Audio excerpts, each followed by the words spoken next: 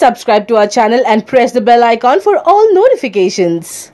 Devi Sri Prasad, who is current music director of Telugu film industry, is struggling to live up to expectations lately. Devi Sri Prasad music for his recent film Hello Guru Prema Kosame has been termed as Medicare and turned out to be one of the main reasons for its failure. His tunes and background score for Vikram Saamy were forgettable. He is now being trolled by netizens for repeating same old music for Vinaya Vidheya teaser. Ram Charan was looking extremely confident in portraying Boyapati mark emotions.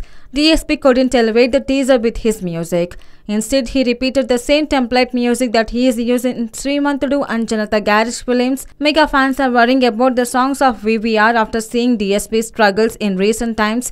A film like Vinaya Vidheya Rama will need a very good soundtrack to meet the expectations. DSP songs for the film to withstand the competition during Sankranti. Can the rockstar find his mojo back and come up with a thumping album like Khaidi number 150 and Rangasthalam? Hi everyone! Did you download YoYo TV app? No? Then go and download from your Play Store where you will get news and entertainment masala. So go, hurry up and download it YoYo TV app you